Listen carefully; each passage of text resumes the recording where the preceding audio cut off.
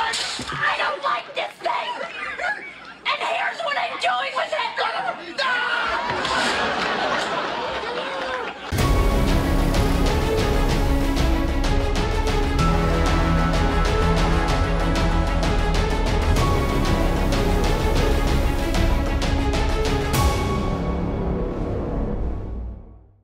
What's up? It's Chris, the Drone Geek, and welcome to another edition of Let's Talk Drones. Today, we are talking about a recent leak reported by DroneXL.com of a supposed sketch of the Mavic 3. Now, DroneXL claims that a DJI insider gave them the sketch and some details about what we might be able to expect from this newest version of the Mavic 3. I really like DroneXL. I get on there a lot to see different news articles, to see what the rumors and the buzz are for each category of drone, and overall, it's just a really nice website that I visit a lot. But this particular leak felt a little bit weird for me. Now, I, I, know that I was one of the people that got on and made a video on YouTube and talked about the last leak of the Mavic 3 drawings, and I was wrong. It didn't come out in 2020, it didn't come out in 2021, and the sketch that I actually shared isn't gonna be the one that's put out at all, apparently. So I know that I'm just as guilty of perpetuating these rumors and getting this hype and this buzz behind the Mavic 3 train all worked up. But again, this one just feels maybe like I should take it with a bit of cautious optimism. And that's the only way I can help feeling. Now, before we talk more about my thoughts and feelings on this reported leak, let's talk a little bit about the sketch that was provided to Drone XL because we do know for a fact that a DJI insider gave them this sketch. I don't think they would report it if that wasn't true. So let's go ahead and take a look at that now. First, in the sketch, you'll see that the drone in question has a body much like the Mavic Air 2. There's also some notes here that are going to coincide with what I'm about to tell you about this sketch, so just stick with me and read those as we go along. It looks aerodynamic as Look at the curves on this body. It is sexy.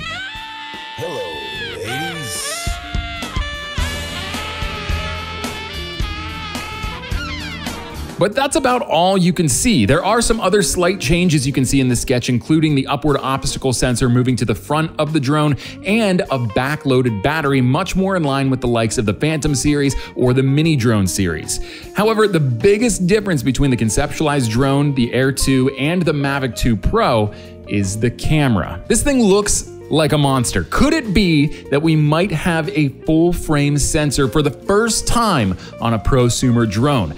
If so, we could be looking at a real game changer here when it comes to getting true cinema grade footage from a prosumer level drone. And that's all the information I have to go on. But if the sketch that Drone XL released is legit, this could be a blockbuster release from DJI when the time comes. Especially since DJI is a company that's largely been ignoring its prosumer drone lines for the past two to three years. There haven't been any major upgrades to the Mavic series, the Phantom series, or the Inspire series series. Now, how soon can we expect the Mavic 3? I know that's the first question anytime anybody sees any kind of a leak or any kind of new information on the Mavic 3 or the Phantom 5 or whatever the drone might be.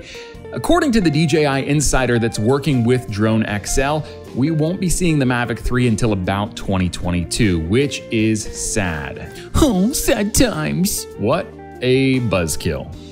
But the good news is, in the meantime, the same DJI insider said that we can expect the DJI Mavic Air 2S to fill the void. Yippee. Now, don't get me wrong. The Air 2 is a fine piece of aerial imaging equipment. I just don't think it packs the same punch as maybe the Phantom or the Mavic line or even the Inspire series. It really does well for what it has on board, but overall I'd classify it as somewhere between an entry-level drone like the mini drones and a prosumer level drone more like the Mavic series and the Phantoms, you get the picture. Now, the rumor coming with the Air 2S is that it will have a 1-inch CMOS sensor, which will bring it up a notch in terms of the argument as to whether or not it's a piece of professional aerial imaging equipment. Once it has that 1-inch sensor, I would certainly lean it more towards the prosumer level side of things, but I still stand by the fact that I don't think the Air has quite the punch that the Mavic 2 Pro, the Phantom 4 version 2, and of course, the Inspire 2 have to offer. I think, as alluded to earlier, DJI DJI has been falling behind when it comes to prosumer level drones. You've had companies like Autel and especially Skydio closing the gap over the past two or three years in a variety of different ways, and it seems like DJI has been all but ignoring its prosumer drones. It's been focusing more on those entry level market drones like the mini drones and even the air drone, depending upon where you stand in that argument. It just feels like they've been leaning on the Mavic 2 Pro, the Phantom 4 version 2, and the Inspire 2 for the past two or three years, and we've all sort of been waiting for the next iteration of those drone lines, especially me, who's been waiting on the Inspire 3 for years. DJI, baby, my bank account is full, and it is waiting for you to drop the latest Inspire. You can have my money as soon as it's out. I just need you to put it on the market. Now, being a DJI fanboy myself, I am excited to see DJI potentially getting itself off the ropes in this triple threat fight with Autel and Skydio by releasing the Mavic 3. I think that the Mavic line of drones is DJI's best bet in fighting back against the companies like Autel and Skydio because that foldable body seems to be what's popular with a much wider audience. On that note, there have been rumors also on the heels of the release of the Mavic 3 that DJI is going to phase out its Phantom and Inspire series, which I think is total bunk. Is it possible? Yeah, anything's possible. But is it probable? I think not. The Phantom is DJI's flagship drone. Without that, DJI does not know the success that it currently knows today, and the Inspire is an affordable aerial imaging option for cinematographers on a budget. Yeah, it's more expensive than the Mavic and the Phantom, but it delivers that high grade cinematic quality footage that you just can't get out of a prosumer level drone for a reasonable price, all things considered. I just don't see the sense in phasing out the flagship drone and DJI's only option for an affordable cinema grade drone. Not to get off topic, this video was about the Mavic 3 sketch that was released to Drone XL by a DJI insider, and all I can say is to summarize everything that I've said in this video, I'm waiting with cautious optimism. If it comes out in 2022, great. I'm so excited, and you can bet that if it has the upgrades that this DJI insider is reporting, I'm going to be going to buy the Mavic 3 as long as it's in the budget as soon as it drops. And if it doesn't release in 2022, well, back to square one.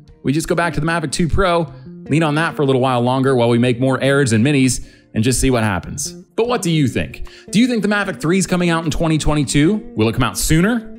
Maybe later? Let me know in the comments below. And while you're down there, hit that like button as well. And if you haven't already, hit that subscribe button. We are still on the quest to 1,000 subscribers, and I can't do it without your help. So if you haven't subscribed already, hit that subscribe button now. And if you have, share this video with two of your drone friends and have them share it with two of their drone friends, and so on and so forth. And eventually, we'll get to 1,000 subscribers, no problem. Until next time, I'm Chris, the drone geek, and I am out of here.